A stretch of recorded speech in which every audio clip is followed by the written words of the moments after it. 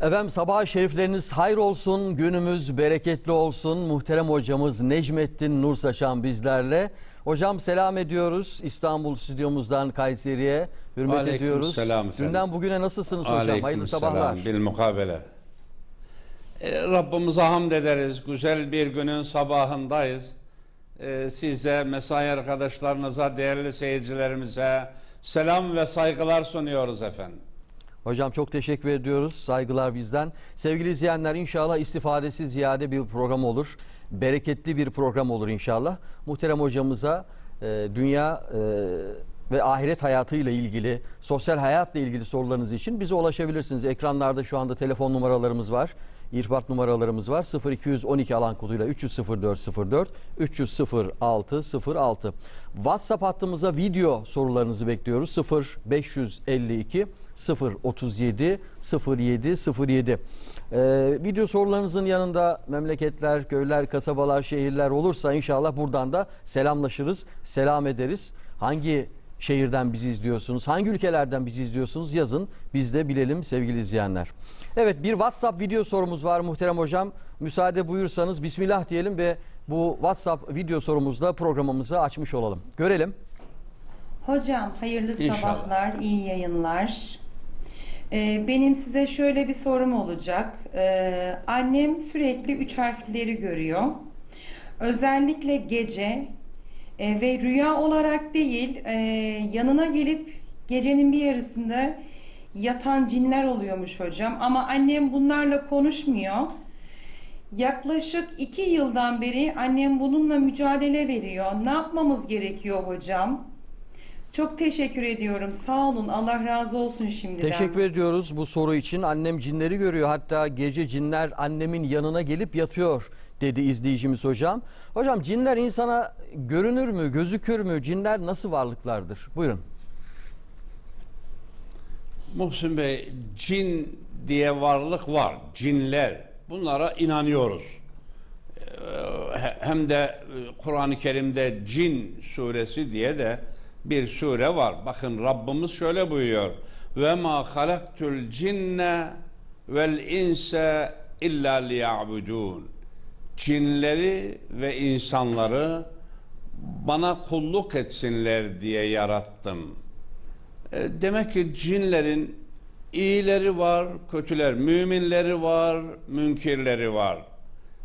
E, Cinlerin kötülerinin insanlara zarar vermeleri inanç ve amel bakımındandır. Demek ki cinlerin insanlara zarar vermeleri inanç ve amel bakımındandır. Maddi ve fiziki değildir maddi ve fiziki zarar verme durumunda değildirler. Ve ma hum bi darrine bihi min ahadin illa bi iznillah. Yani zarar vermeleri ancak Allah'ın izniyledir. Allah müsaade etmedikçe zarar vermeleri söz konusu değildir. Ama böyle bakın çocukluktan beri sual soran hanımefendi kardeşimiz de bakın cin sözünü kullanmadı da üç harfliler dedi. Böyle bir korku da var. Bunlardan böyle bir korku var. Ta çocukluktan beri alınan telkinlerin neticesinde e, şimdi bakın annem ne diyor? Annem e, cinleri görüyor. Cinler geceleri yanıma geliyor, yatıyor diyor.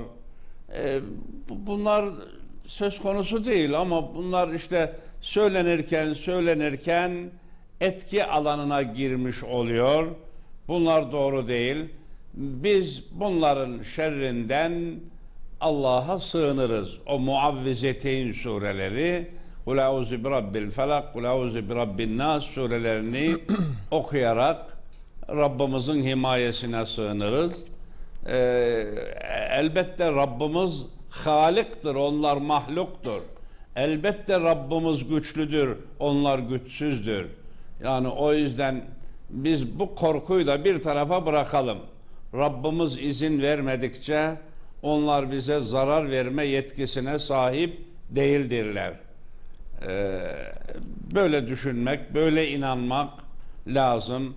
E, görülüyor ki Muhsin Bey yani her programımızda cinlerle ilgili sual sorulduğunu görüyoruz. Ee, ne kadar biz e, bir Müslümanın bu konudaki inancı ne olmalıdır? Bunu söylesek de öyle bir halkımıza yerleşmiş ki cinler insanlara zarar verirler. Şöyle yaparlar, böyle yaparlar inancı yerleşmiş. Biz artık söylerken söylerken doğrusunu anlatacağız inşallah. İnşallah hocam. Çok teşekkür ediyoruz. Ve devam ediyoruz. Bir video sorumuz daha var. Görelim. Hayırlı yayınlar. Sizi çok severek izliyorum. Soracağım soruları da unuttum şu an. Kaç kere WhatsApp'tan yazdım. Her gün arıyorum her hafta. Kur'an-ı Kerim'i çok istiyorum e, almayı ama hiç düşünemiyorum telefonu. Bir soru soracağım hocam. Ben nama- namaz kılmayı e, ezan okunurken abdestim varsa hemen o ezan okunmaya başlayınca namaz kılmaya başlıyorum. Bu ne kadar doğrudur? Lütfen söyler misiniz? Evet. Ezan okunduğu esnada namaz kılmaya başlıyorum. Doğru mu yapıyorum diye soruyor izleyicimiz. Buyurun hocam. E, tabii doğrusu nedir? Ezanı dinleyip ondan sonra namaza başlamaktır. Ama namazın şartlarından biri nedir? E, vaktin girmiş olmasıdır. Ezan okunduğuna göre vakit girmiştir. Evet. Vakit girdiğine göre biz namaz kılabiliriz. Ezan okunuyor da ama biz duyamıyoruz, dinleyemiyoruz. O halde biz namaza durabiliriz. Teşekkür ediyoruz. Telefonla devam edelim. Bir izleyicimiz hocamıza soru soracaklar. Hoş geldiniz yayınımıza. Hoş bulduk. Hayırlı sabahlar diliyoruz. Güzel Hayırlı bir gün sabahlar. olsun. Selamünaleyküm. Aydın Hayırlı izleyicimiz. aleykümselam. Aydın'dan. Aydın'dan arıyor. Nedir hocamıza sorunuz? Buyurun not alayım ben de. Benim benim hocama sorum. Ben bundan 3 ay 10 gün önce kanser hastalığından oğlumu kaybettim. Başınız sağ olsun efendim. Sağ olun Allah razı olsun. Oğlum 16 yaşındaydı. Ee, öldüğü gün ilk öldüğü gün zaten belimden bıçakla böyle bir şey belimden asılırcasına korkuyla şekilde kalktım. Yoğun bakımın önüne gittim ve orada oğlumun ruhunun gezindiğini gördüm. Yoğun bakımın önünde. Ben her seferinde oğlum ben burada kapının önündeyim, oğlum burada pencerenin önündeyim dediğim halde ilk orada gördüm. Sonra devamlı perşembe günleri, hayır yaptığım günleri devamlı evin hizasında devamlı bana gözüküyor. Yani devamlı değilsem her zaman değil de ayda bir sefer, 15 günde bir sefer mutlaka bana gözüküyor. Ama Oğlunuzun gördüğüm kend- oğlunuzu görüyorsunuz öyle mi? Yoksa e, yok, başka yok bir şey mi? oğlum değil. Hayır, oğlum değil. Kesinlikle insan vücudu gibi değil. Yani bir bir karaltı, bir hayaltı gibi evin hizasından gittiğini görüyorum. Bana inanmadılar ve abim de aynısını beraber aynı anda baktığımız zaman beraber gördük. Sonra oturduk, ağladık. Gördün değil mi abi dedim. Ben yalan söylemiyorum dedim. Bak dedim Kadircan burada. Sonra oturduk. Hocama sorum gerçekten ruhlar gelip bize gözüküyordu. Evet. Tekrar başınız sağ olsun. Mevla rahmet eylesin. Allah inşallah ol, cennetinde Allah sizi buluştursun. Acınız büyük elbette. Ee, oğlunuzla ilgili sorunuzu hocam da duydu. Ee, lütfen daha fazla üzülmeyin siz. Telefonu kapatın. Hocamın e, söyleyeceklerini televizyondan takip edin inşallah. Tekrar başınız sağ olsun efendim. Evet muhterem hocam izleyicimizin acılı bir baba elbette oğlunu özlüyor 16 yaşında hastalık sebebiyle kaybediyor. Ama hastanede vefat ettiğinde ben onun ruhunu gördüm dedi izleyicimiz. Aynı zamanda farklı zamanlarda mekanlarda da gelip gittiğini hissediyorum görüyorum. İnsan şeklinde değil de böyle bir e, silüet bir görüntü şeklinde görüyorum dedi. Böyle bir şey mümkün mü dinen buna inanabilir miyiz hocam buyurun. Muhsin Bey bunun bir anlamı da yok, değeri de yok. Yani e, tedavisi mümkün, tedavisinde acize düştüğümüz bir hastalıkla aramızdan ayrılan oğlu inşallah şehit olmuştur. İnşallah. Mevlana'nın dediği gibi acının içinde tatlıyı gör. Derdi olacaktır. E, ebedi hayatta beraber olmak son derece önemlidir. E, o yüzden e, ruhunu görüyorum, bir karartı görüyorum. Onları bırakalım. Rabbimizin hükmünü kabullenelim. İnna lillah Ve inna inna ileyhi raciun. Ya Rab bizim sahibimiz sensin. Sen bizde senin hükmün geçer. Hepimiz senin huzurunda toplanacağız. Bu emir, bu hüküm sendendir. Ee, ecelini böyle belirlemişsin ee, ve böylece huzuruna, huzuruna aldın. Ee, İnnemâ yüffes sabirûne ecrahum bi gayri hisab. Sabredenlere verilecek mükafat hudutsuzdur. Niye hudutsuz? E, kolay değil de ondan. 10 16 yaşındaki ciğer paresi kendinden ayrılmış. E, bunu sineye basmak kolay değil. İşte bu zoru yapınca da büyük mükafat kazanıyor. Rabbimiz öyle söylüyor. Değil mi ki Rabbimizin emri? Onun emri başımız üzerine e, doğduk. Ölüm de muhakkaktır, mukadderdir. E, oğlumuzun eceli böyleymiş.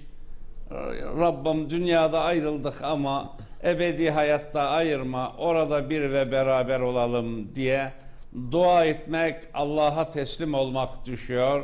Öyle olunca acı tatlıya dönüyor, e, dert devaya dönüyor. Peki teşekkür ediyoruz hocam. Devam edelim. WhatsApp hattımıza video sorularınız gelmeye başladı. Selamlar da var. İşte onlardan birisi Şanlıurfa'dan selamlar. Hep sizi izliyoruz. Dualarınızı bekliyoruz. Hocam sizleri çok seviyoruz demiş. Şanlıurfa hayırlı sabahlar. Güzel bir gün olsun inşallah. Bir başka izleyicimiz Denizli'den selamlar. Hocamın ellerinden öperim. Bugün artık görün demiş. Sevgili izleyenler bu konuda çok e, sitem ediyorsunuz. Şikayetleriniz var ama anlık görebiliyorum. Çünkü o kadar çok mesaj geliyor ki o an gördüğümü okumaya çalışıyorum. E, şifreleri alıyoruz ama düşüremiyoruz demiş. İnşallah düşürürsünüz diyelim. Bir başka izleyicimiz Necmettin hocamın ilçesi Kayseri Hacılar'dan Necati Herdem. Muhsin Bey şahsınızda hocama tüm çalışanlarınıza selamlar, sevgiler, saygılar sunuyorum demiş. Ee, iyi günler diliyorum demiş. Biz de Kayseri'ye Hacılar Köyü'ne selam ediyoruz ve bir WhatsApp video soru ile devam ediyoruz. Selamünaleyküm. Hocam hayırlı yayınlar diliyorum. Hocam benim kafama takılan şu. Ben büyünün yani kendi mantığıma göre düşündüğüm zaman büyünün şirk olduğunu düşünüyorum. Kur'an-ı Kerim'de Allah Teala şirkle uğraşana şey büyüyle uğraşana lanet etmiş. Amenna kabul ediyorum. Acaba ondan şöyle bir ahkam çıkartabilir miyiz? Yani büyünün insan hayatına herhangi bir müdahale etmesi mümkün olmadığından dolayı allah Teala bunu yasaklamış olamaz mı? Yani ben büyüyle bir insanın kaderinde, yaşam şeklinde bir değişiklik yapılabileceğine ben inanmıyorum. Bence bu şirke giriyor. Çünkü allah Teala'dan başka ne diyor? Bizim iznimiz olmadan yaprak dahi kımıldamaz sa eğer ki öyle amenna kabul ettik. O yüzden farklı bir gücün insan hayatına, kainata müdahale edebilme yetkisi olabilir mi? Olamayacağından dolayı olmasına inanmanın ben şirk olacağını düşünüyorum. Hocam bu konuda aydınlatırsanız beni sevinirim. Teşekkür ediyoruz izleyicimize. Evet, izleyicimiz diyor ki büyüyle insanların yaşam şekline müdahale edileceğine inanmıyorum diyor. E hocam da her defasında zaten söylüyor. Mevla izin vermediği sürece etki etmez. Yani cinler de e, bu konuda bir şey yapamazlar. Büyü ya da büyücüler bu konuda bir şey yapamazlar diyor. Hocam ne dersiniz izleyicimizin e, bu söylediklerinden sonra sizin yorumlarınızı da merak ediyoruz. Bakın beyefendinin bu sözlerini teyiden şu hadis-i şerifi okuyayım.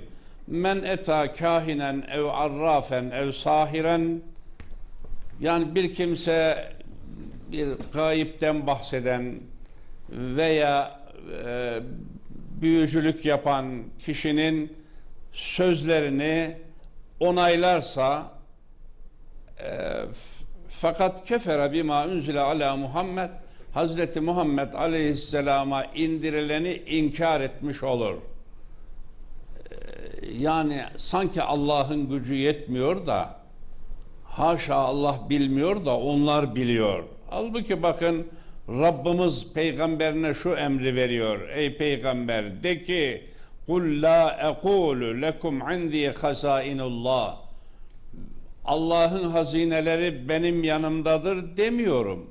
Ve la a'lemul gayba ben kaybı bilirim de demiyorum. Ve la ekulu lekum inni melek ben meleğim de demiyorum. İn ettebi'u illa ma yuha ileyye ben bana vahy yolunana uyarım. O kadar. Rabbim bana vahiy gönderir. Rabbim bildirirse bilirim. Yani bunlar demek ki her şeyi biliyorlar. Kaybı da biliyorlar filan. Ee, bunu iddia ediyorlar. Ee, böyle olunca sanki Allah'a iş koşuyorlar. Ee, beyefendi de bunu söylüyor işte. Hocam büyü ile kader değişmez değil mi? Büyü ile kader değişir mi? Hayır, hayır. Yani Değişmez. kaderimiz neyse odur. Evet peki. Evet. Devam edelim. Hatırlatmalarımız var az sonra. Bugün yine hediyelerimiz var. Bunlarla ilgili hatırlatmalarımız olacak. Henüz şifre paylaşmadık. Yeni açan izleyicilerimiz var. Ekranları başına yeni geçenler var. Birinci şifre paylaşıldı mı diye soruyorlar. Hayır henüz paylaşılmadı. Kalem kağıtlar hazır olsun. Biraz sonra hatırlatmalarımızı yapacağız. Muhsin Bey ve size muhterem hocama Serhat şehri Edirne'den selamlar. Sizleri seviyoruz demişler. Edirne'ye selam yok mu? Var. Edirne size de selamlar. Hayırlı sabahlar. Güzel bir gün olsun. Afyon'dan selamlar. Karaman'dan selamlar. Hocamızı çok seviyoruz. Annem de rahmetli çok severdi. Allah razı olsun. Ee, saygılar sunuyoruz. Hocamıza selamlarımızı iletin demişler. Karaman'dan. Karaman'a da selam ediyoruz. Bilin o haberi. Bir video Evet. sorumuz daha var görelim. Selamünaleyküm hocam. Hayırlı programlar diliyorum. Teşekkür ediyoruz. Sorum şu. Bankalarda Amin altın hesabı açmak caiz midir? Bankalarda altın hesabı açmak caiz midir? Buyurun hocam. Ee, şöyle olursa caizdir. Yeden bir yedin tabiri var. Yani e, elden ele. Yani istediğimiz zaman altın verebiliyorsa e, caizdir. E, yok veremiyorsa caiz değildir. Hmm, o önemli.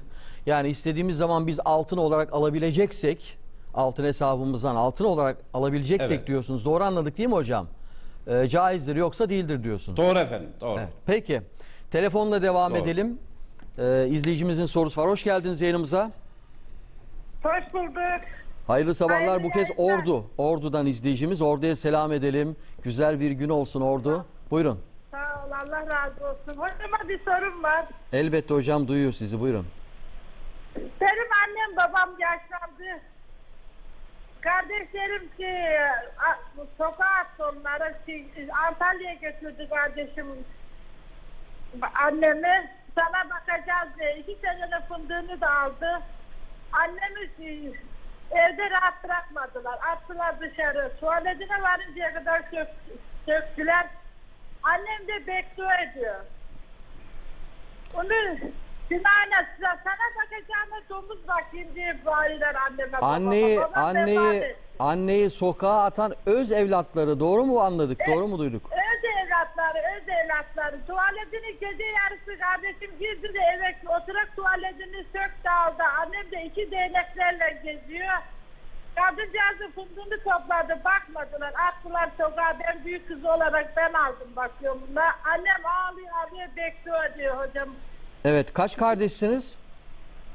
Yedi kardeşiz. Bir de, yedi kardeşiz. Peki niye böyle bir şey yaptılar?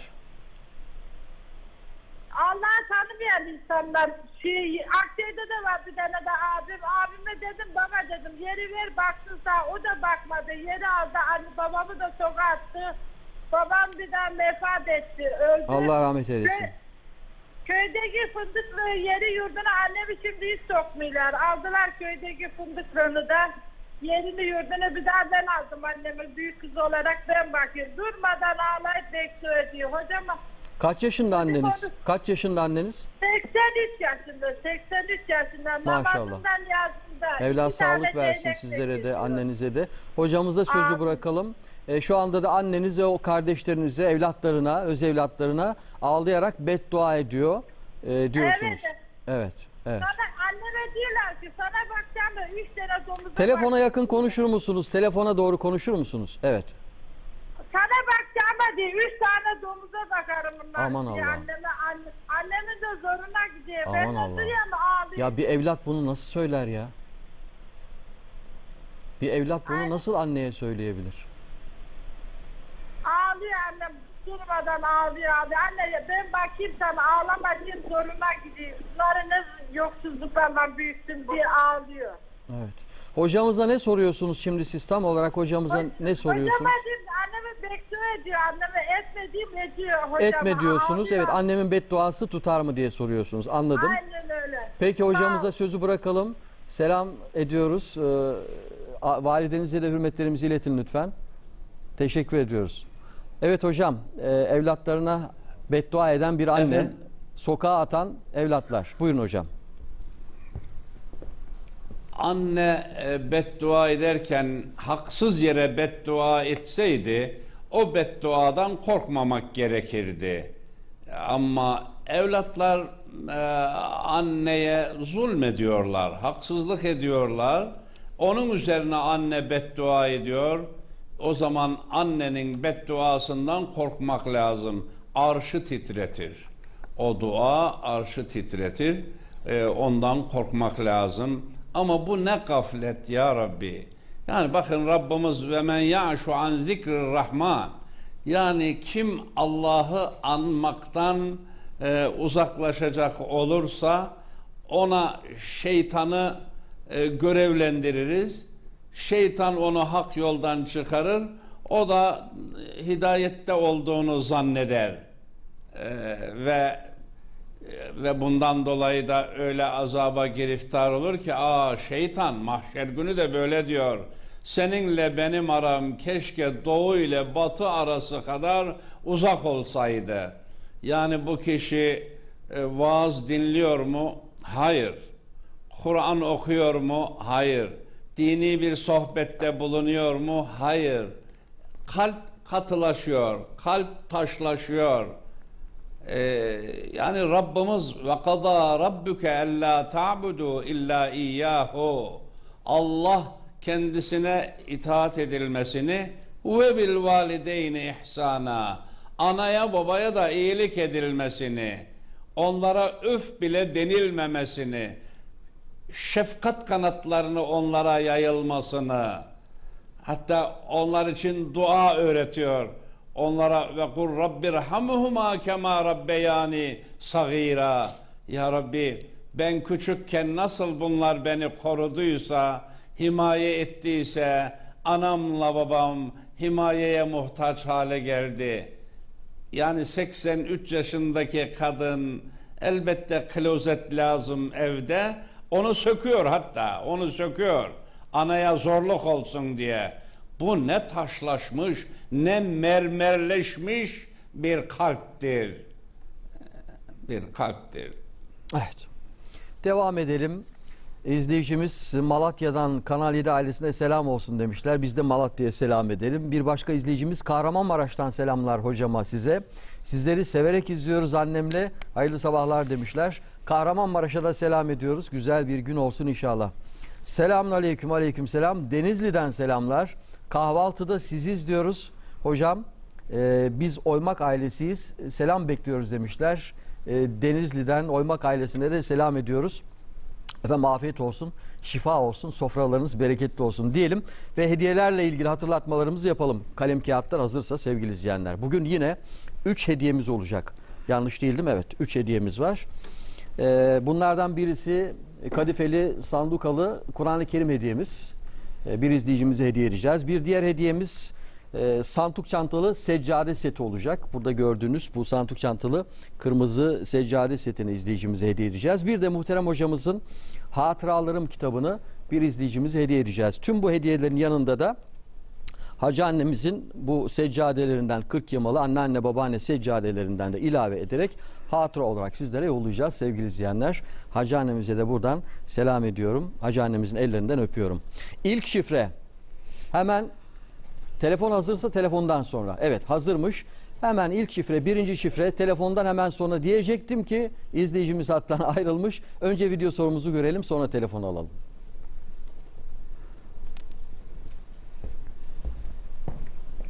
Hocam selamünaleyküm. İyi yayınlar. Muhsin Bey kolay gelsin. Aleyküm Hocam benim sorum şu olacaktı. Ramazan ayında kronik rahatsızlığım olduğu için oruç tutamıyorum. Bunun için fidyesini e, belirli verdiğim bir kişi var. Bu kişi ihtiyaç sahibi. Yalnız e, eşinin parayı alıp alkol gibi bazı şeyler tüketmesini istemediğimiz için biz bunu erzak şeklinde alıyoruz. Para şeklinde vermiyoruz fidyeyi. Bu kabul olur mu? E, bir geçerliliği var mı yoksa para olarak mı vermek zorundayız? Erzak olarak verilmiyor mu hocam? Teşekkür ederim. iyi yayınlar. Fidyesini verdiğim kişinin eşi alkol aldığı için ben de erzak olarak orucumun fidyesini veriyorum. Bu kabul olur mu diye soruyor hocam izleyicimiz. Doğrusunu yapıyor. Doğrusunu. Yani fidye, fidye ayni de verilir, nakdi de verilir. Yani para olarak da verilir, erzak olarak da verilebilir. Ee, değil mi ki ver, yardım ettiğimiz kişinin eşi e, alkol kullanıyor. Verdiğimiz parayı orada kullanmasın diye e, erzak veriyor. Doğrusunu yapıyor. Teşekkür ediyoruz hocam. Bir video sorumuz daha var görelim. Ee, Selamünaleyküm hocam. Ee, ben bir sorum olacaktı size. Ee, ben göğüslerimin büyüklüğünden ve insanların gözüne çok çarptığından çok rahatsız oluyorum. Ee, bunun için de küçültme ameliyatı olmak istiyorum. Bunun günahı nedir?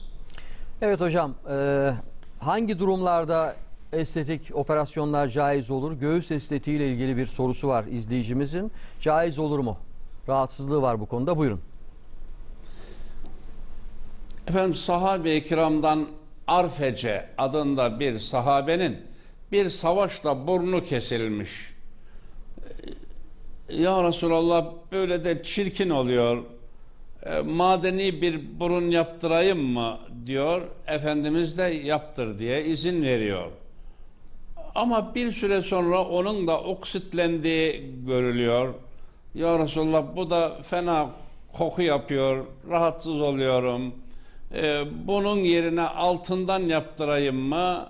Ee, Efendimiz ona da izin veriyor. Hulasa tedavi caiz, estetik caiz değil. Tedavi eğer, şimdi hanım kardeşimiz e, göğüslerim normalin üstünde. E bundan dolayı eşimin de yarın ilgisinin kesileceğinden endişe ediyorum. Yani bu hanımefendinin elbette psikolojisine de tesir ediyor. Yani bunu bir operasyonla küçültmek istiyorum. E bu bir tedavi midir? E, tedavidir. Durup dururken keyfi olarak oynamak değildir. Öyle olsa estetik diyeceğiz. Estetik caiz değil. Ama tedavi amaçlı olursa diyelim ki burnumuzda biraz eğrilik var. Herkes de onu görüyor.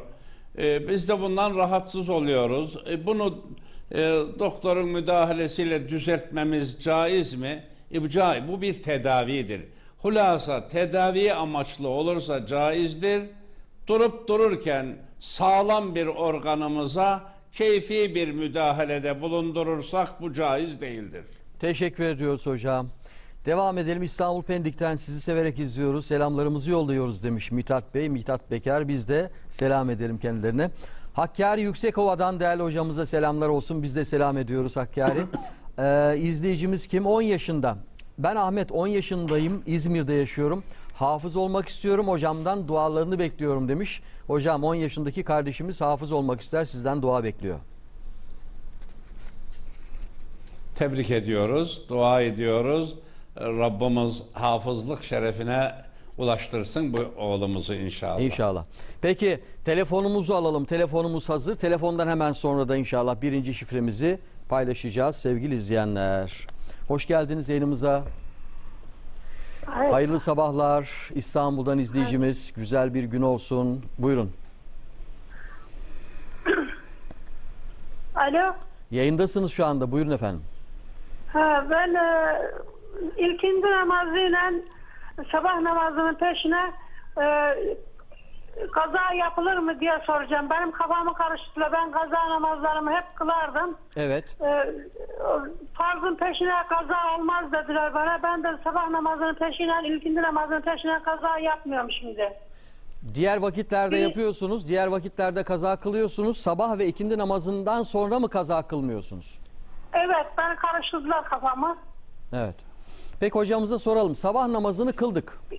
Kaza Bir de- namazı bir de kılabilir bir- miyiz? Bir de ikindi namazını kıldık. Vakit namazımızı kıldık. Arkasından e, kılmadığımız namazların kazasını yapabilir miyiz? Bunu soruyorsunuz. Evet. Peki teşekkür ediyoruz. Lütfen. Bir, bir sorum daha bir sorum daha var hocam. Nedir? Nedir? Ee, ben kulak cihazı yazdılar bana. Ku- Kulaklarım biraz zor işitiyor. Evet. Onun üstüne mes mi yap- yapmam lazım yoksa çıkarıp abdest almak mı lazım? Evet. Bu cihazla abdest olur mu diye soruyorsunuz. Çıkarmam icap Evet. eder mi? Peki. Teşekkür Evet. ediyoruz. Lütfen televizyondan takip edin hocamızın söyleyeceklerini. Sağ olun. Hocam buyurun iki sorusu var izleyicimizin. Efendim kulak cihazımızı çıkarmak zor değilse çıkarırız. Yani tabii onun ıslanması herhalde cihaza zarar verebiliyor. Yok çıkarılması zorsa üzerinden mesederiz. Ee, namaz meselesine gelince sabah namazından sonra kaza kılabilir miyiz? Kılabiliriz. Ne zamana kadar? Güneş doğuncaya kadar.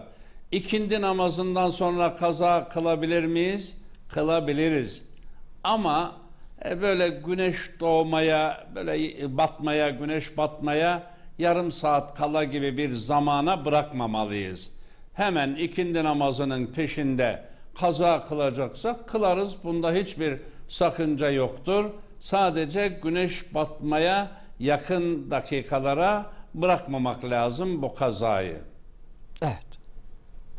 Teşekkür ediyoruz hocam. Ve söz verdiğimiz gibi birinci şifreyi paylaşalım sevgili izleyenler. Evet. Üç hediyemiz var demiştik. Bunlardan birisi e, kadife kaplı Kur'an-ı Kerim sandukalı. Bir diğer hediyemiz sandık çantalı seccade seti hediyemiz. Bir de muhterem hocamızın e, hatıralarım kitabını bir izleyicimize hediye edeceğiz. Ve bu hediyeler için üç şifre vereceğiz. İşte onlardan ilki ve birincisi ekrana geliyor. Cenab-ı Hakk'ın o mübarek, o güzel isimlerinden birisi. En-Nafi' Ya Allah Celle Celaluhu. Hayır ve fayda veren şeyleri yaratan Allah. Hayır ve fayda veren şeyleri yaratan Rabbimizin güzel isimlerinden biri de En-Nafi'dir. Hayır ve fayda veren şeyleri yaratır o. Evet. Teşekkür ediyoruz hocam. İki şifremiz daha var sevgili izleyenler. İlerleyen bölümlerde, dakikalarda inşallah kalan iki şifreyi de sizlerle paylaşırız. Kalem kağıtlar hazır olsun. Her an paylaşabiliriz. Yani herhangi bir bölümde paylaşabiliriz. Ee, bir video sorumuz var görelim. Selamun Aleyküm hocam. Hayırlı sabahlar, hayırlı günleriniz olsun. Allah üzerinize iyilik yağdırsın. Size bir sorum olacaktı. 4 yıllık evliyim. Eşimle aramda 20 yaş var. Eşim sürekli kavga diyor, sürekli huzursuzluk çıkartıyor. Bir şey olduğunda ayrılalım, boşanalım, gide, git ben istemiyorum, ben şöyle yapmak istemiyorum. Sürekli bunu söylüyor bana. E ben de ki, ilk evliliğimden çocuklarım var. Arada nüsibet ol- olmasın diye de ayrılmak da istemiyorum. Ben diyor çocuklarına diyor bir, sana bir şey vermeyeceğim hiç diyor çocuklarıma koyacağım diyor. Çocukları da hiç gelip sormaz aramaz. 50, 48 yaşında bir tane kızı var daha yüzünü görmemiş. Baba bile demiyorlar arkasından sürekli kötü davranıyorlar. Bu adam 7 kere evlenmiş. Bana çok şey yapıyor hocam. Bazen beddua etmek istiyorum edemiyorum günah diye. Bedduayı da sevmiyorum. Namazlarımda çok ağlıyorum. Allah'ım ben bunu neden yaşıyorum? Bu benim sınavım mı? Ben niye böyle? Ben huzurlu, mutlu olayım diye evlendim ama bu niye başıma geliyor diye. Hocam bunu bir cevaplar mısınız? Sürekli bana bir şey bırakmayacağım sana. Sana bir şey bırakmayacağım diyor. Ben de diyorum canın sağ olsun bırakma. Allah büyük diyorum. Allah ilahi adalet var diyorum. Hocam bunu bir cevaplar mısınız? Peki teşekkür ediyoruz izleyicimize. 7 defa evlenen eşim sana bir şey bırakmayacağım çocuklarıma vereceğim diyor. Çocuklarının kapıyı açmışlığı dahi yok. Yani e, babalarıyla irtibatı yok diyor. E, namazların arkasından da sürekli dua ediyorum diyor izleyicimiz. Bu konuda izleyicimize neler tavsiye edersiniz hocam? Yani Rabbimiz Muhsin Bey buyuruyor ki ey müminler Allah ve elçisinden hayat veren mesajlar olunca onlara uyun. Ya eyyühellezine amenestecibu lillahi ve lirrasul izâ deâkum lima yuhyikum. Yani Rabbimiz bakın bir ayetinde de ve min ayatihi en halaka lekum min enfusikum ezvaca. Şu da benim varlığıma delil ki kendi cinsinizden eş verdim, huzur bulasınız diye verdim. Saygı ve sevgi duyasınız diye verdim. Rahman olan Allah'ın koluyuz. rahmet peygamberinin bağlısıyız. Sevgiyle, merhametle, muhabbetle görevliyiz. Biz Müslümanlara yakışan bu. Rabbimiz sevgili peygamberimizi bize örnek gösteriyor. Bakın Amr ibnül As Hazretleri soruyor. Ya Resulallah insanlar içinde en çok kimi seviyorsun? Ayşe'yi seviyorum. Sonra kimi seviyorsunuz ya Resulallah? Ayşe'nin babasını. Hazreti Ebu Bekir'i demiyor. Yine Ayşe'nin babasını. E, Amr ibn As zannetti ki birinci, ikinci sırada sıra bana gelecek. Ben artık sor- sormaktan vazgeçtim diyor. Yani sevgili peygamberimiz bakın birinci sırada Ayşe annemizi seviyor. Hazreti Ayşe soruyor ya Resulallah beni ne kadar seviyorsun? Seni kör, kördüğüm gibi seviyorum. Çok hoşuna gidiyor Hazreti Ayşe'nin. Aradan bir zaman geçince ya Resulallah kördüğümden ne haber? İlk günkü gibi diyor. Bakın rahmet peygamberi bize ne buyuruyor? Kişinin eşinin ağzına lokma koymasında ecir var, mükafat var. Yani e, bey hanımının ağzına lokma koyacak. E, Peygamberimiz Efendimiz bunu tavsiye ediyor. Hadi bir koşu yapalım diyor. Peygamberimizle Ayşe annemiz yarış yapıyorlar. İlk günlerdeki yarışta Hazreti Ayşe annemiz geçiyor. Aradan biraz zaman geçince Hazreti Ayşe kilolanıyor. Hadi bir daha koşu yapalım. Bu sefer de peygamberimiz geçiyor. Hadihi bitilke sebeka. Evvelki yarışmamızın rovanşidir. Yani Cenab-ı Hak peygamberini bize rol model gösteriyor. Şu hanımefendinin sabrına, olgunluğuna bakın. Şu beyefendinin de anlayışsızlığına bakın ya. Yani ben sana şu kötülükle, sana hiçbir şey bırakmayacağım. Allah Allah. Yani hayatı çekilmez bir yük haline getiriyor. Hanımefendi hep sabır hazinesini kullanıyor. Hep sabır yani e, ayrılmanın da getireceği birçok sıkıntılar vardır. O yüzden bundan dolayı Rabbimize sığınıyor. Hep bu dini irşada ne kadar ihtiyacımız var. Milletin temeli aile. Aile sağlamsa millet sağlam. Aile çürükse millet çürük. Yani ailemiz kutsaldı yüzyıllardan beri. Yani ailemize sancı girdi. Yani bakın Dede Korkut öğütleri. Şakağında ağırsa baba güzel. Ak sütünü doya doya emzirse ana güzel. Helalli güzel. Yan tarafta yapılsa gelin odası güzel. Sevgili kardeş güzel. Hiçbirine benzemedi. Cümle alemleri yaratan Allah güzel. Hanımefendiyi bu sabrından dolayı tebrik ediyoruz. Beyefendiyi de insafa davet ediyorum. Allah'tan kork, insaf et. Yani zulmetme. Zulmün hasmı Allah, zalimin hasmı Allah. Bu yanına kalmaz böyle etme. Gel şu geçici dünya hayatımızı cennete çevirelim ki ebedi cennetleri de kazanmış olalım. Teşekkür ediyoruz hocam. Devam edelim. Erzurum'dan selamlar demiş izleyicimiz. Erzurum'a selam yok mu? Var tabii ki Erzurum'a selamlar. Konya'dan Fatma Büşra, e, Konya'ya selam ediyoruz. Antalya Finike'den selamlar. Bizim için hocam dua eder mi demiş. E, Antalya'da selam ediyoruz. Bir video sorumuz daha var görelim. Hayırlı sabahlar hocam. Bir sorum olacak. Emeğimizle kazandığımız parayı babam dolara yatırıyor ve buradan döviz karı elde ediyor. Bu para haram mıdır? Evet, e, benzer bir soru daha var. E, döviz alım satım işlemleriyle ilgili bir sorumuz daha var. Görelim. Selamünaleyküm hocam. Ben euro aldım. Euro'dan da kar ettim, bozdum. O kar olan para bana haram mıdır? Evet, iki soru var hocam. Buyurun.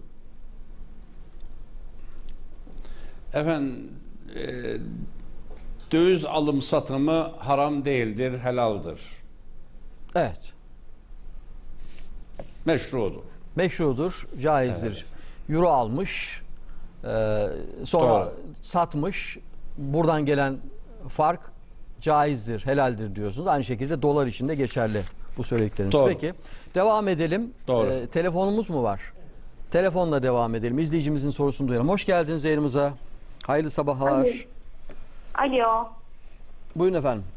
Erzurum'dan Merhabalar. izleyicimiz. Erzurum'a selam ediyoruz. Buyurun. Bizler de selam söylüyoruz. Ne zaman ulaşmak istiyorduk. Hatta yıllardır annem çok istiyordu. Evet. Şimdi bana nasip oldu. Annem yanımda değil ama onun da çok selamları var hocam özellikle. Kısmet bugüneymiş Sizlere de diyelim. tabii. Hoş geldiniz. Buyurun. Biz de ona selam ediyoruz efendim. Ee, şimdi benim 14-15 yıl önce abim vefat etti. Evet. Ee, bunun üzerine tabii annem çok psikolojik e, olarak yıprandı. Sürekli hani bize bir şey olacakmış diye sürekli bir korkuyor. Evet. Özellikle hani zannediyor ki bir yere gidersek bir şey olacak bize diye. Sürekli uyuyamıyor şu an olmuş. 14-15 yıl olmuş. Uyuyamıyor, yapamıyor. Bir 7 yıl önce falan da annemle babam ayrıldı. Yani kağıt üzerinde boşanmadılar ama ayrı yaşıyorlar. E, anne şey dedi hani herkes düzelmiştir o burnu sürttü hani iyi olur falan. Annem geçen sene gene eve geldi. 4-5 ay kadar falan bizde kaldı. Ama daha kötü oldu. Yani bu süreçten önce de biz şey yapıyorduk hani bir iki yıl hiç konuşmadık. Ablamın e, nişanına kadar hep kavga çıktı şey oldu. Biz iki üç yıl hiç konuşmadık. Daha sonra biz babamla görüşmeye başladık. Evini temizlemeye gittik. İhtiyaçlarını görüyoruz ama annemle bir iletişimi yoktu. Hı hı. E daha sonra annemle de geldi. Bayramlarda geldi. Geçen sene Ramazan'ı beraber tuttuk. Ama bayram gecesi bile daha kötü oldu. Daha kötü kavgalar çıktı. İşte burada şey soracağım ben hocam öncelikle. Burada biz çocukları olarak çünkü onun en büyük problemi biziz. Hani bir şey diyoruz babama. Hani biz gelelim gene annemle ayrı kal biz gelelim ihtiyaçlarını giderelim yok istemiyor. Ya ben o eve geleceğim diyor ya da bu şekilde hiçbir şekilde be- benim yanıma uğramayın diyor. Biz de artık bu saatten sonra yapabilecek bir şeyimiz kalmadı çocuklar olarak bizim ona. E, vicdan olarak rahat değiliz ama istemiyor yani boşanmayı da şöyle. Anneme diyor ki hiçbir şey alma boşanalım diyor.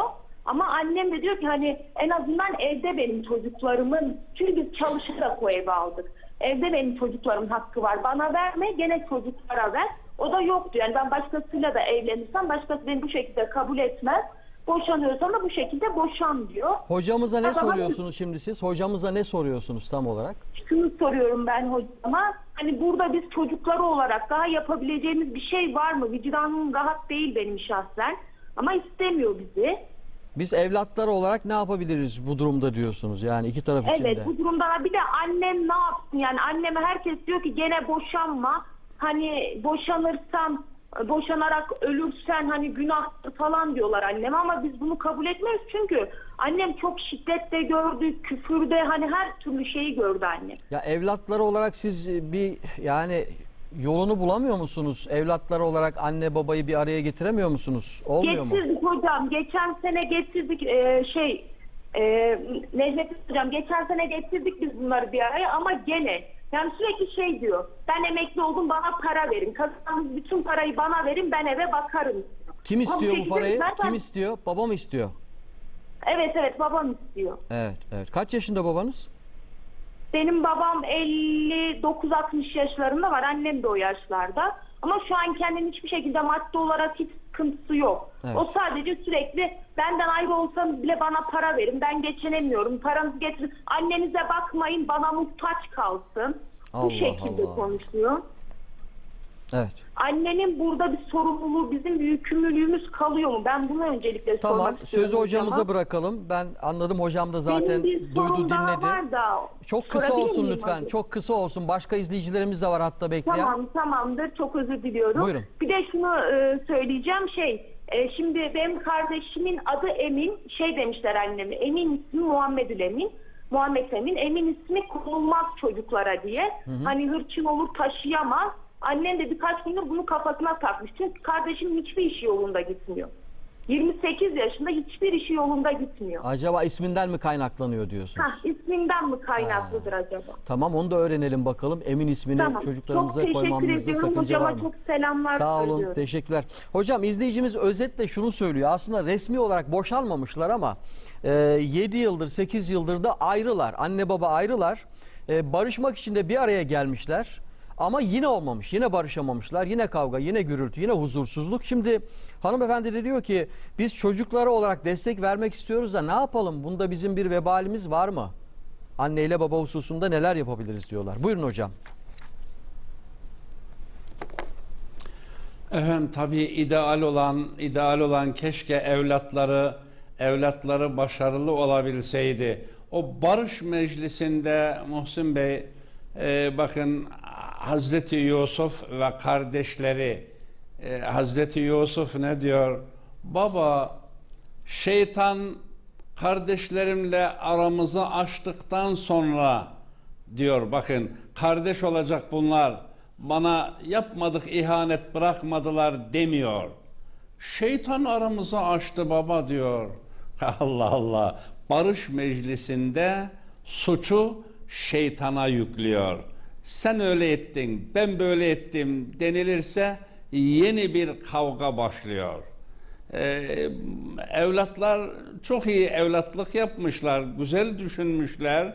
Adeta büyüklükle küçüklük yer değişmiş. Küçükler büyük rolüne geçmişler.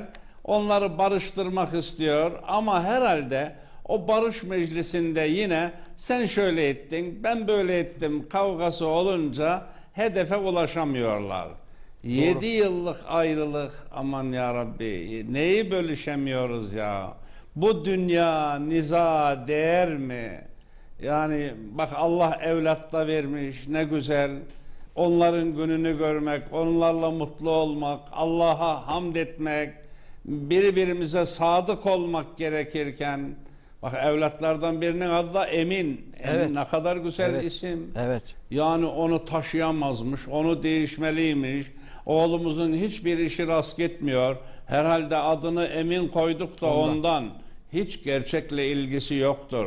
Ama gelin şunu düşünelim. Ve men a'rada an zikri fe inne lehu maişeten danka. Kim bana kulluktan yüz çevirirse ona bunalımlı, sıkıntılı bir hayat vardır. Allah korusun. Rabbimiz böyle buyuruyor. Acaba kendimizi bir hesaba çekelim. Ben bir Müslüman olarak kulluk görevimi yapıyorum. İki görevim vardı. Hakka kulluk, halka, Halka hizmet. Bu görevlerimi yapıyor muyum? Yoksa yapmadığımdan dolayı mı bu sıkıntılarla karşılaşıyorum diye kendimizi hesaba çekmemiz icap eder. Ee, yani babalarıyla anneleri eğer e, geçinemeyecekseler ayrı, ayrılabilirler de tabii çekilmez bir yük haline gelince.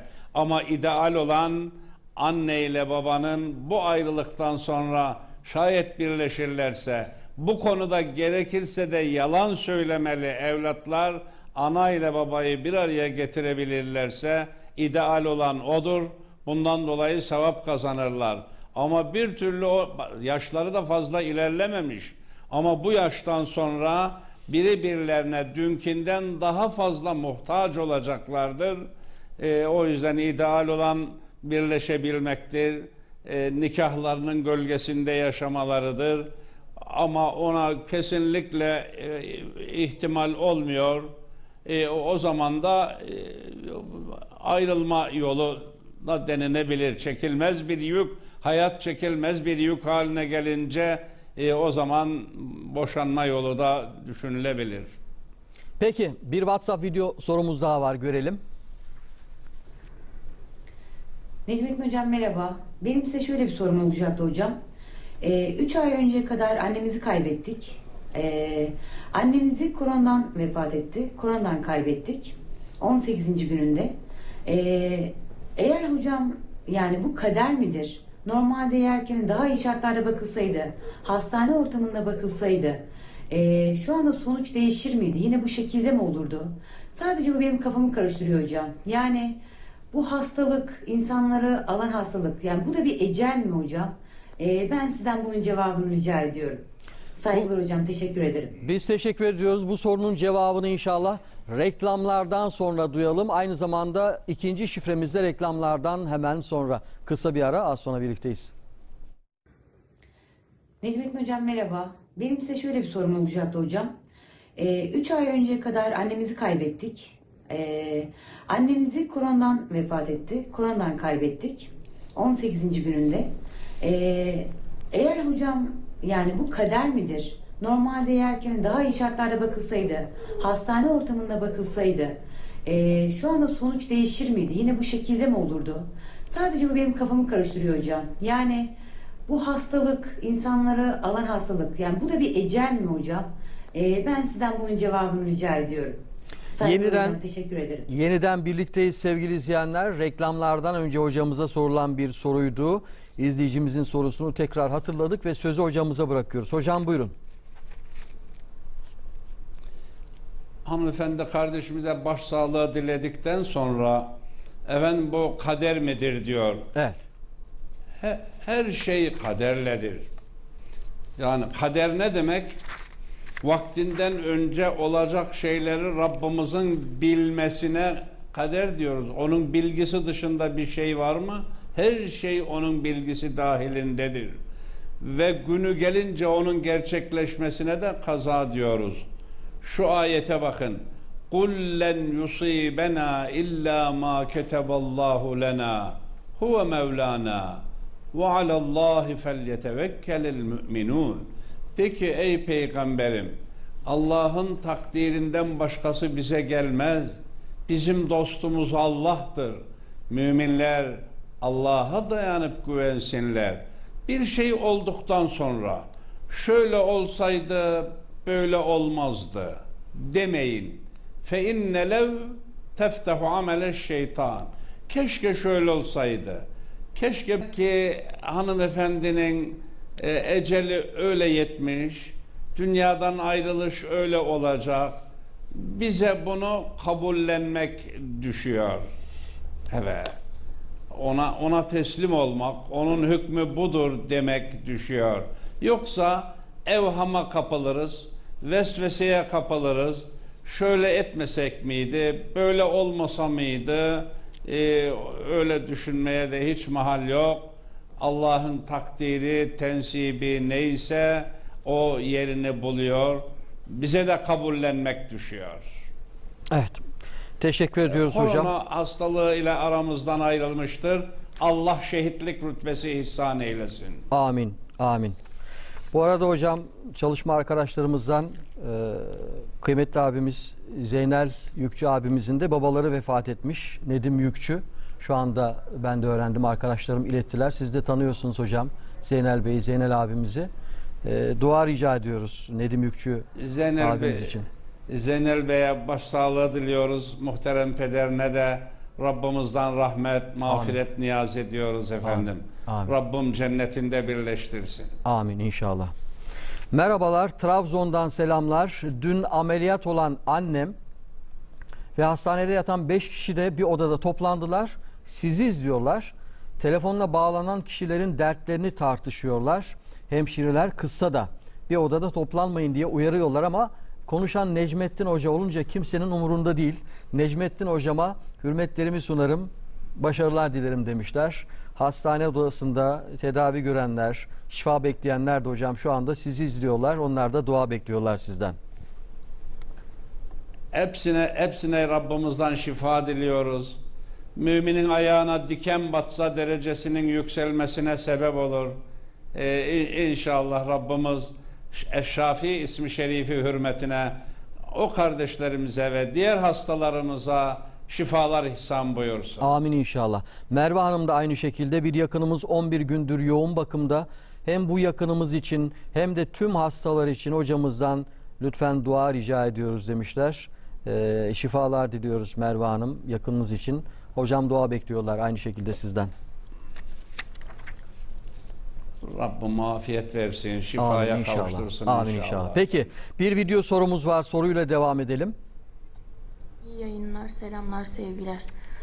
Yeni evliyken 20 yıl önce türbe tarzı bir yerde insanların bebek için ada kestiklerini görmüştüm. Ben de adayıp adamadığımı tam olarak hatırlamıyorum. Kızım olursa diye içimden geçti. Şu an tam emin değilim. İlla ki oraya gidip adamı kesmem, dağıtmam mı gerekiyor yoksa burada bir yerde de adak kessem, dağıtsam olur mu? Teşekkür ediyoruz. Hocam buyurun. efendim illa türbenin etrafında bu görevi yapmak gerekmez. Yani e, münasip kendisine uygun yerde o kurban görevini yerine getirir, e, fakirlere onu dağıtır. E, yoksa illa türbenin çevresinde o işi yapmamız gerekmez. Bunu böyle bilelim. Evet. Peki hocam bu tür adaklar doğru mudur? Yani işte türbede adak keseceğim demek yani illa e, adağın içerisinde türbe bulundurulması gerekir mi? Yani türbelerin e, dinimizdeki Kes- yeri ve önemi elbette biliniyor Yok ama efendim, adakların orada yerine getirilmesi dinen sakıncalı mı değil mi? e, sakıncalıdır, gerek yoktur. Türbeleri ziyaret ederiz. Onlar vesilesiyle Rabbimizin lütfunu, rahmetini dileriz. Ama onlardan bir şey istemeyiz. Türbede metfun bulunan kişiden bir şey bana şunu ver, e, bana şunu sağla öyle dua etmeyiz. Evet. Peki telefonla devam edelim. Adamımız varsa onu da münasip bir yerde keseriz. Evet. Telefonla devam edelim muhterem hocam. Bir izleyicimizin sorusu var. Telefondan hemen sonra inşallah e, ikinci şifreyi paylaşacağız. Hediyelerimiz için ikinci şifre ekrana gelecek ama önce izleyicimizin sorusunu duyalım. Hoş geldiniz. Balıkesir selam ediyoruz. Hayırlı sabahlar. Güzel bir Hayırlı gün olsun sabah- inşallah. Hayırlı Buyurun. sabahlar efendim. Buyurun. Ee, e, benim hocamıza bir sorum olacaktı. Nedir? Ee, ben şöyle bir şey yani kafama takıldı bu. Doğru yapmıyorsun diyorlar. Şey öğlen namazının son sünneti, Evet. e, ikindi namazının farzı, Evet. son iki farzı, rekatı. Evet. Ee, yatsı namazının da son sünneti. Ben bunlarda zamm-ı sure okuyacak mıyım, okumayacak mıyım? Ben kendim görme engelli olduğum için e, hani bir takım şeyleri takip edemiyorum. Not aldım ben tekrar ediyorum düzeltin yanlış not aldıysam. Öğle namazının son sünneti, ikindi namazının farzının son e, ikindi namazının son iki rekatı dediniz değil mi? Hı hı, farzının. Evet yatsı namazının son sünnetinde.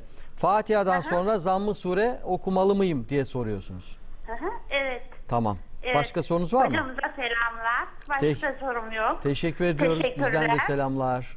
Hocam buyurun. Efendim e, öğle namazının son iki rekatlık sünnetini dört rekat olarak kılabilir miyiz? Kılabiliriz. Evet. Peki o son iki rekatta zamm-ı sure okuyacak mıyız? Okuyacağız. Tamam. Peki tahiyyata oturduk. Birinci tahiyyata okudu, oturduktan sonra Salli e, bari. tahiyyatı okuduk. Salli bari'yi de okuyacak mıyız? Okuyacağız. Evet okuyacağız. Ayağa kalkınca, üçüncü rekata kalkınca Sübhaneke'yi de okuyacak mıyız? Evet okuyacağız. Öğleyin bu böyle. Son sünnette. Yatsıda da bu böyle. E, son sünnette. Yalnız hanım kardeşimiz üçüncü bir şey ilave etti. O ikindinin farzını e, son iki rekatında zamm-ı sure okuyacak mıyım dedi. Hayır okumayacağız. İkindinin farzının son iki rekatında zamm-ı sure okumayacağız. Hocam bu e, öğle namazında dörde mi tamamlıyoruz? İki rekatı. Ee, yani arzu edenler için Arzu edenler öyle de için. rivayet var. Öğle namazının son iki rekatına arzu eden dört rekat olarak kılabilir.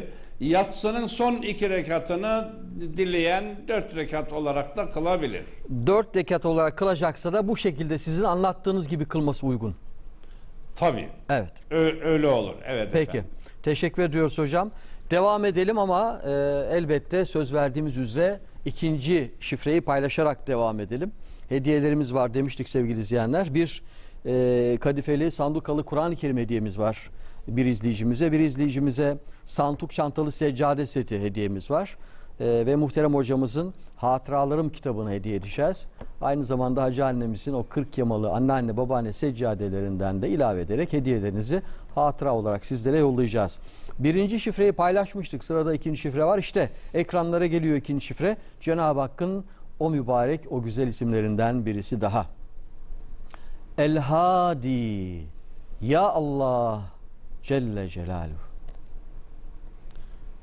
Hidayete erdiren, dilediği kulunu muradına kavuşturan, Rabbimizin güzel isimlerinden biri El Hadi ve her gün 40 rekat namaz kılıyoruz. İhdine sıratal müstakim. Ya Rab sana giden yolda ayaklarımızı sabit kadem eyle, ayaklarımızı kaydırma, Amin. hidayetten ayırma Amin. diye de dua ediyoruz. Evet son bir şifremiz kaldı. Biraz sonra o son şifreyi de inşallah ekranlarda görürüz. Sizinle paylaşırız sevgili izleyenler. Ama öncesinde Instagram'dan gelen sorular var. Biraz da Instagram'dan gelen sorulara bakalım sevgili izleyenler. Ee, Havva Hanım sormuşlar. İyi yayınlar. Ee, sizi yeni keşfettim. Benim de sayın hocama bir sorum var. Kadın ya da erkeklerin vücutlarına piercing yaptırmaları günah mı? Buyurun hocam. Efendim yani eee, bunlar eee, e, vücudu değiştirmek yani fıtratı değiştirmek doğru değildir. Eee, bir de diyelim hanımların kulaklarına küpe takmaları memleketimizin örfüdür, geleneğidir. E, ama e, kulağına değil de buruna taktırmak, bilmem kaşa taktırmak bunlar da örfümüzde yoktur. Bunlar uygun değildir. E, erkekler için de keza böyle. Sedef Hanım'ın sorusu var Instagram'dan diyor ki merhaba benim boynumda ve kolumda Arapça dövmeler var. Bunların günahı var mı? Teşekkür ederim.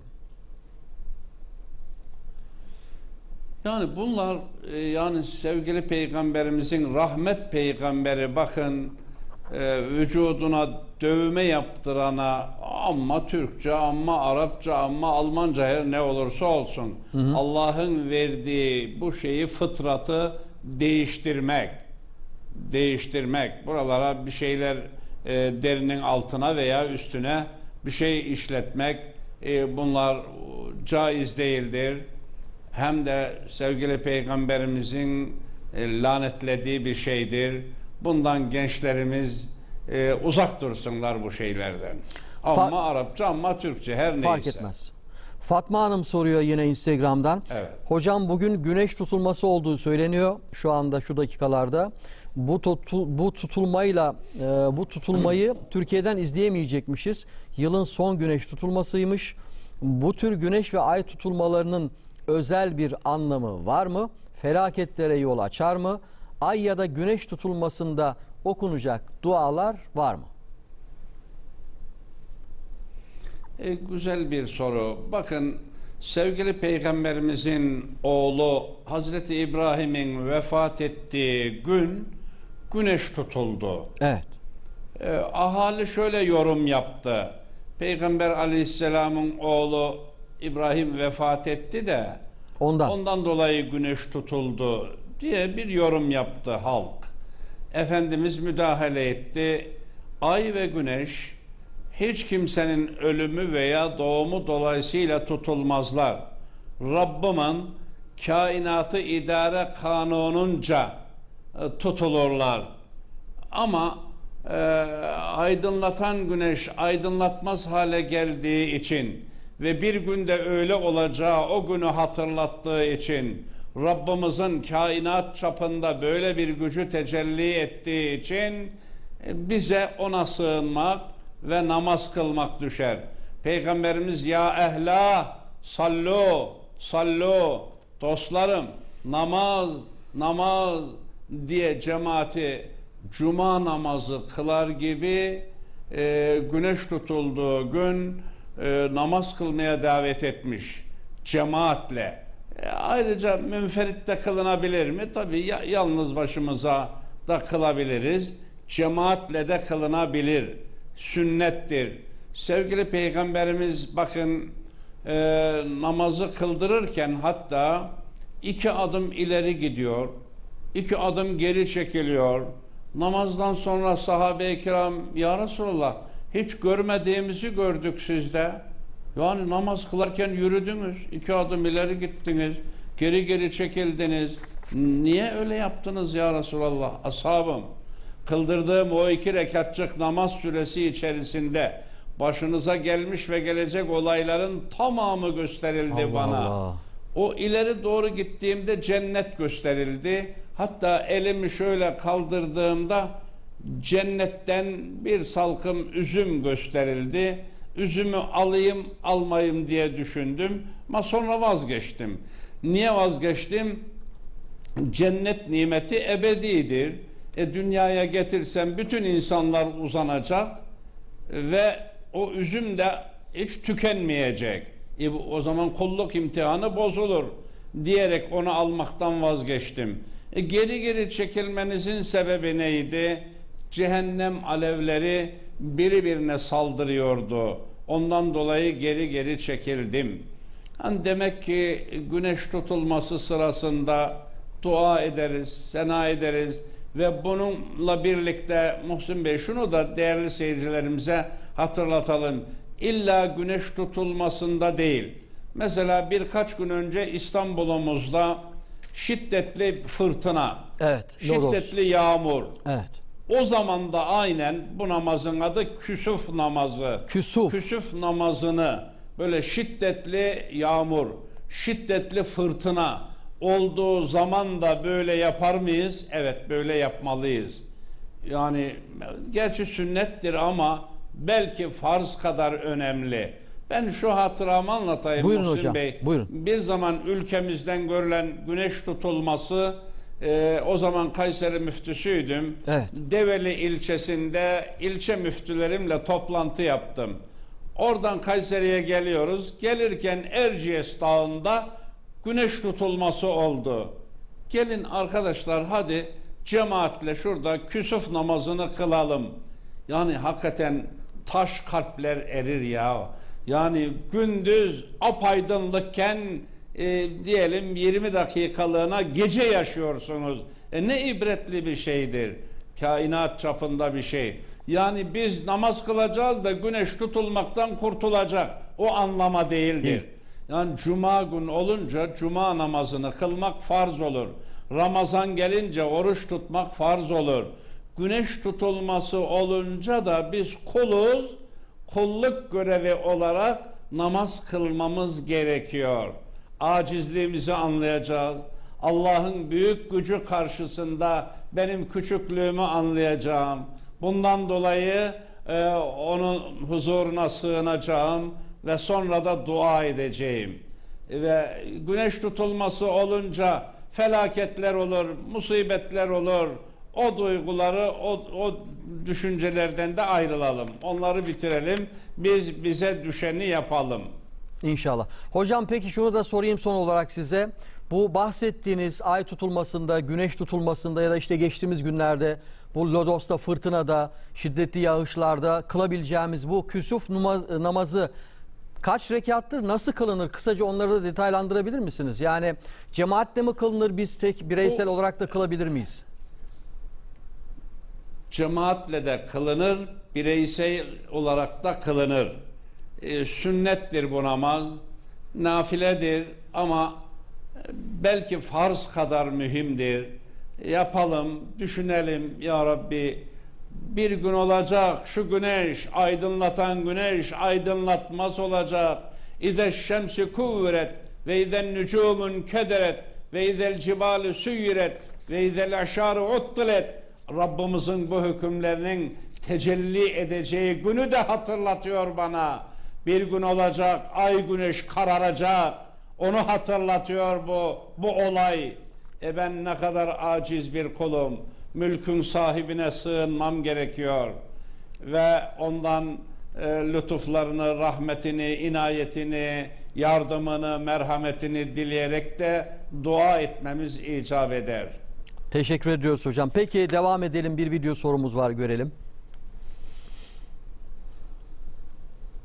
Hocam selamünaleyküm. Kafama takılan en büyük sorulardan birisi Müslüman ülkeyiz. Üzerimize düşen e, Müslümanlık görevlerinden biri de merhamet ve vicdandır.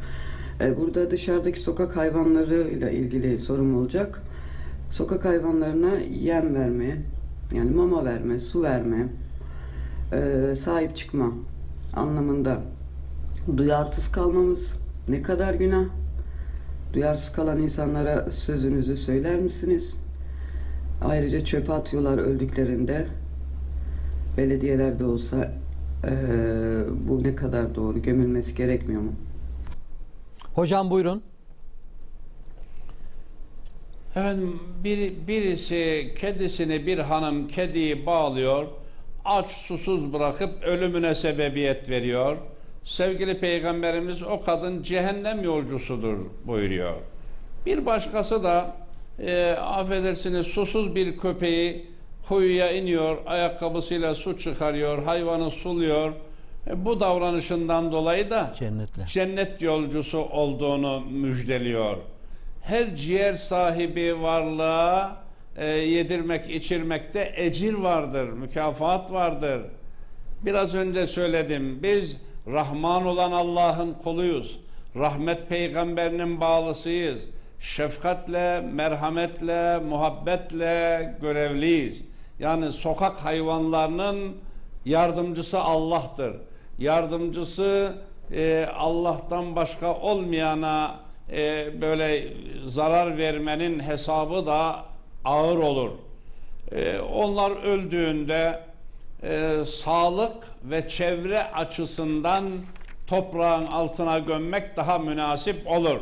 Yani onu çöpe atmaktan ise toprak altına bırakmak sağlık ve çevre problemleri açısından daha yakışanıdır, daha doğru olanıdır.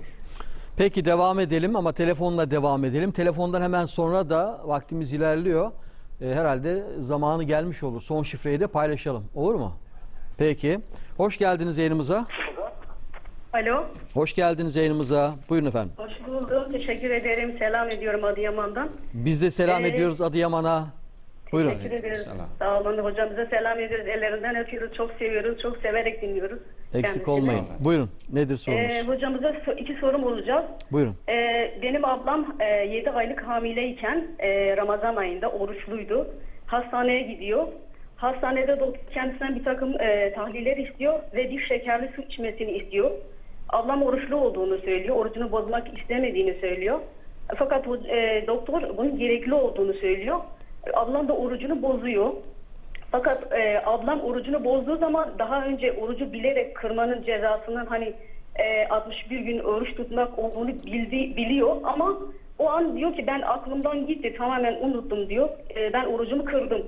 Daha sonra arkadaşlar arasında konuşmuş ve demişler ki işte senin 61 gün oruç tutman gerekiyor. Hmm. Ablam da orucu tutmak istiyor ama e, onun da bir takım e, rahatsızlıkları var. E, psikolojik ilaçlar alıyor.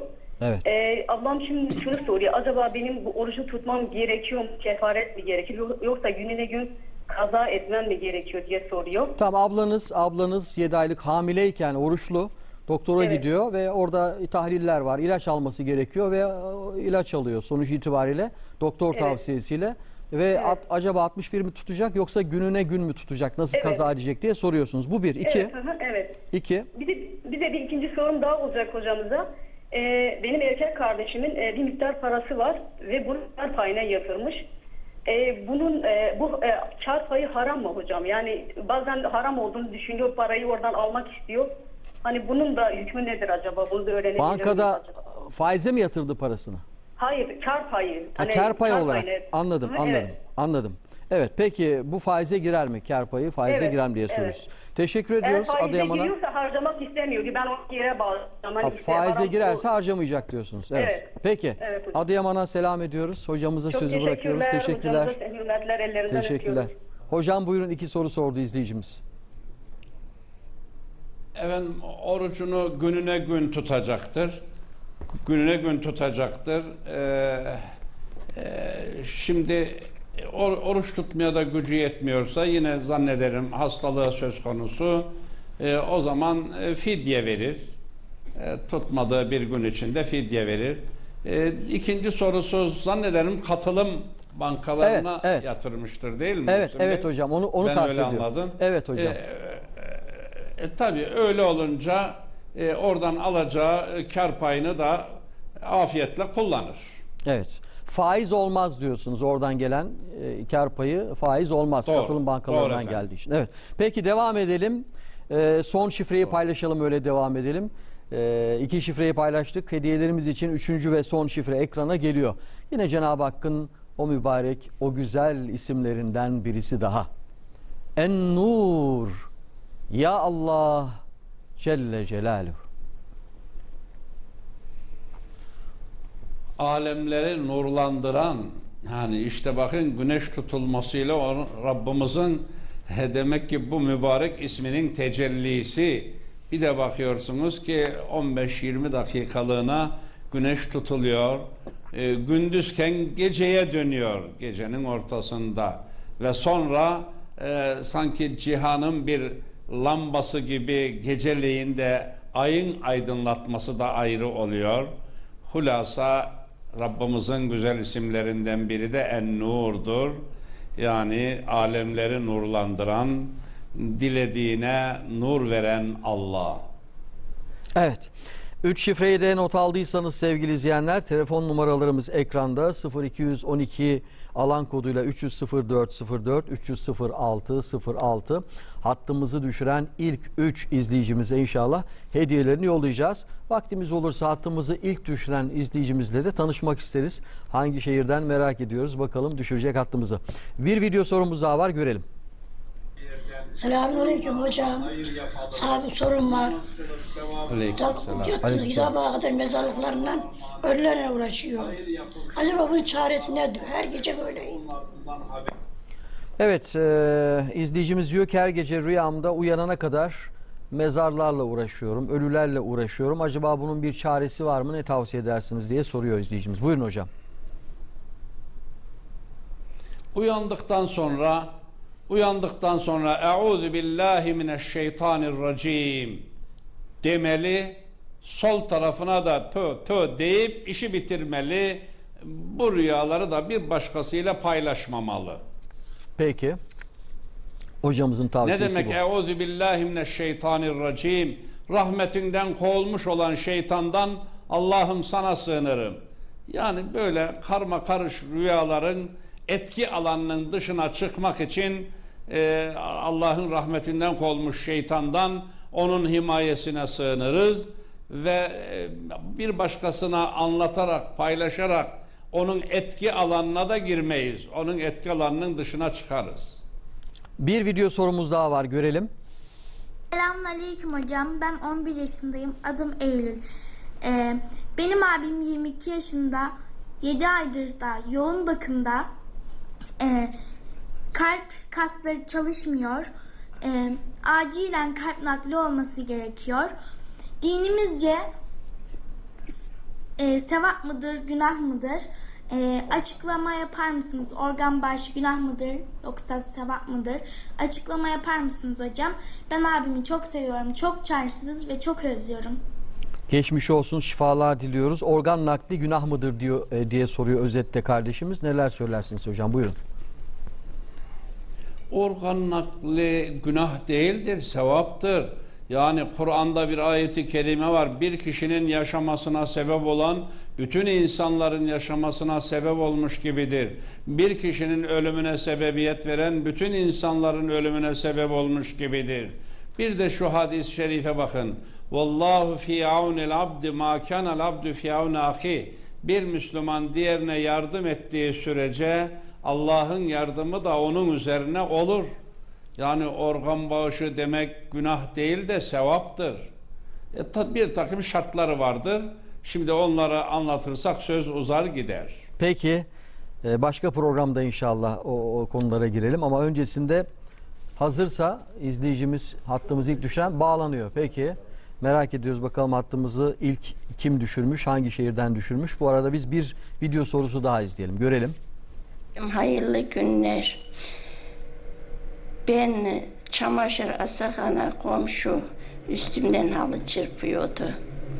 Ben de gözyaşıyla hocam buradan kurtulursam ev alınca kurban keserim dedim. Evimizi aldık. Eşime söyledim ama eşim 3-4 kilo kıyma aldı. Komşuları ağladık. O içimde kaldı. Kurban kesemedim Ya. acaba. Çok rahatsız oluyorum acaba ondan mı diye. Evet. Hocam bunu bana açıklarsan sevinirim. Hayırlı günler. Teşekkür ediyoruz. Çamaşır asarken komşum üstümden halı çırpıyordu. Ben de buradan kurtulursak e, bu e, ev alalım inşallah. Ev alırsam da kurban keseceğim demiş ama belli ki e, durumları yoktu. Kurban kesemediler ama eşi 4 kilo kıyma almış ve komşulara dağıtmışlar hocam. Artık ben diyor ne yapabilirim? Adamı yerine getiremedim diyor izleyicimiz. Neler söylersiniz? Bir İçim kere rahat değil diyor. çamaşır çamaşır asan çamaşır asan hanımın üzerine halı çırpmak aman ya Rabbi bir Müslüman ahlakı mıdır? Ya Komşuluk gayrimüslimin de komşuluk hakkı vardır. Ya evvelu hasmeyn yevmel kıyameti caran kıyamet gününün ilk duruşması komşuluk davasından olacaktır. Men kâne yu'minu billahi vel yevmil ahir felâ yuzi care. Allah'a ve ahirete imanı olan komşusuna eziyet etmesin. Gayrimüslim bile olsa ona da eziyet etmeyecek. E bu ne ya? Yaptığımız hiçbir şey yanımıza kalmaz. Bundan hesaba çekileceğiz. Yani komşu çamaşır asıyor, onun üzerine halı çırpıyorum. Ya Rabbi ne anlayışsızlık ya. Böyle komşuluk olur mu? maalesef. Ee, ve yemne'ûnel ma'un feveylun lil musallin ellezîne hum an salatihim sahun. Hem de bakın bir surenin adı ma'un. Ne demek ma'un? Yani komşunun ihtiyaç hissettiği basit şeyleri vermeyen, namazı e, bazen kılıp bazen kılmayan, komşunun ihtiyaç hissettiği alet edevatı esirgiyene veil vardır diyor. Yazıklar olsun. Kur'an-ı Kerim öyle diyor. Evet efendim. Hocam bu Ee, adayla ilgili son olarak var. adakla İki- ilgili hocam 4 kilo Ada Evet. o olmamış, o yerine gelmemiş efendim. Hanımefendi adakta bulunmuş. Doğru. Yani ben bu ortamdan ayrılırsam, Allah ayrı bir ev verirse, ben bir kurban keseyim demiş. E, dinimiz illa böyle yap demezdi. Böyle diyerek hanımefendi Allah'a söz vermiş. Allah'a verdiği sözü yerine getirmesi gerekir. 4 kilo kıyma alıp dağıtmakla bu iş olmaz. E, elleri müsait olduğu zaman Allah'ı Allah'a verdikleri sözü yerine getirmeleri icap eder. Yufune bin nezr o müminler ki Allah'a verdikleri sözü yerine getirirler. Gözlerin, gönüllerin yerinden oynayacağı günden korkarlar. O günün dehşetinden korkarlar. Rabbimiz böyle buyuruyor. Elleri müsait olunca e, bu işi yerine getirirler bu görevi. imkanları olduğunda inşallah o görevi yerine getirirler dedi hocamız. Teşekkür ediyoruz. Evet. Ve bakalım hattımızı ilk kim nereden hangi şehirden düşürmüş? Arkadaşlarımıza yine bağlayacaklardı. Elazığ'dan Neslihan Demirok. Elazığ selam ediyoruz. Neslihan Hanım Teşekkür ederim. hoş Muhsin Bey. geldiniz yayınımıza. Teşekkür ederim. Sağ olun, hoş bulduk. İzlediniz, notlarınızı aldınız. Evet, Evet ve hattı ilk siz düşürdünüz. evet. Peki nedir şifreler? Duyalım. En Nas Celle Celaluhu. Evet. En Hacı Celle Celaluhu. En Nur Celle Celaluhu. Tebrik ediyoruz. Teşekkür ediyoruz izlediğiniz için. Teşekkür inşallah adresinize yollayacağız. Selam Teşekkür ediyoruz Elazığ'a. sağ olun. Sağ olun. Ve hattımızı ikinci düşüren şehir Hülya Hanım. Hülya İşçinan. İşçiman Gaziantep'ten. Gaziantep'e selam edelim. Hattımızı son düşüren izleyicimiz kim? Zeynep yoruldu Tekirdağ. Zeynep Yoruldu Tekirdağ'dan hattımızı düşürmüş. Tebrik ediyoruz. Ee, teşekkür ediyoruz izlediğiniz için sevgili izleyenler. Muhterem hocam bize ayrılan sürenin sonuna geldik. Çok teşekkür ediyoruz. Yüreğinize sağlık. Sağlık, afiyet diliyoruz size. Allah sizden razı olsun hocam. İnşallah sevgili izleyenler haftaya cuma yine Cümlemizden. cuma sohbetlerinde muhterem hocamız Necmettin Nur Saçan'la birlikte olacağız. Birlikte oluncaya dek hepinize sağlıklı, mutlu, huzurlu, güzel bir hafta sonu, bereketli bir hafta diliyor. Yine programımızı muhterem hocamızın duasıyla kapatıyoruz. Amin. Amin. Euzu billahi mineşşeytanirracim. Bismillahirrahmanirrahim.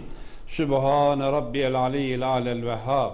Elhamdülillahi rabbil alemin. Amin. Ve salatu ve selamu ala rasulina Muhammedin ve ala alihi ve sahbihi ecmain. Amin. Ya Rab, Rabbül Aleminsin. Malikul mülksün, malikul mülüksün, mukallibül kulubsun. Mülk senin elinde, gönüllerimiz senin elinde.